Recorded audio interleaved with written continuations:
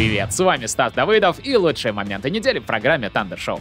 Сегодня вас ждут пробивная сила из 2, находчивый зенитчик, невероятно везучий маус и два эпизода для книги рекордов ядерного оружия. Да, я знаю, что такое не существует, тем не менее, поехали! Вот он, тот долгожданный момент, когда можно одним выстрелом поразить две цели. Надо только немного выдержки и хладнокровия. Вот, сейчас две САУ встанут одна за другой. Выстрел и... Подождите, это тройной удар?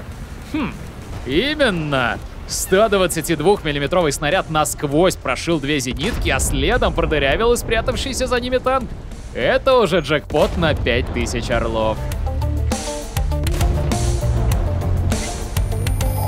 Следующий герой, Бочи, заставляет вспомнить о Давиде и Голиафе. Он встретился с КВ-2, абсолютно неуязвимым для его зенитных орудий.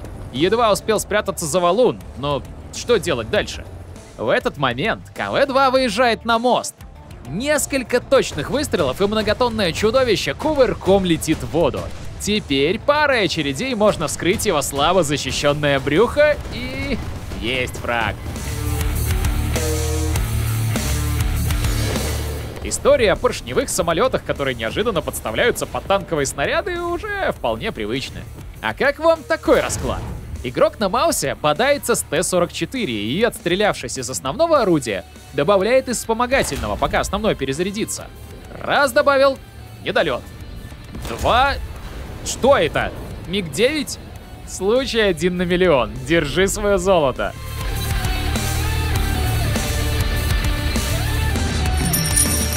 А как думаете, за какое минимальное время можно настрелять на ядерную бомбу?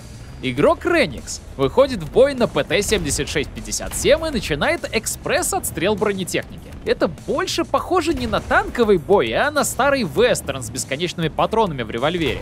На четвертой с половиной минуте танк наконец отправляется в ангар, но взамен из него вылетает бомбардировщик судного дня.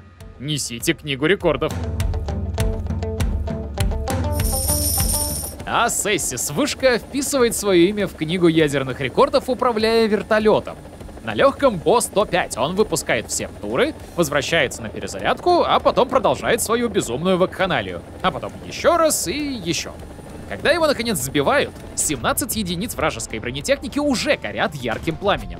И кому, позвольте узнать, он тут несет атомную бомбу. Все машины противника уже и так в ангаре.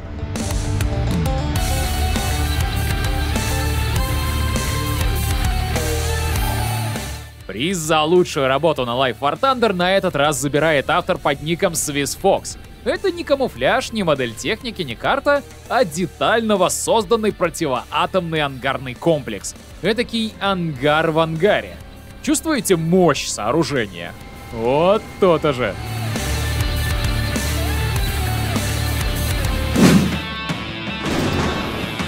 Кстати, а много ли среди зрителей этого видео мододелов, создающих контент для War Thunder? Расскажите о своем опыте в комментариях, что получается, что не получается, какие есть проблемы. Буду ждать ваших комментов и, конечно же, новых эпических моментов для Thunder Show. Пока!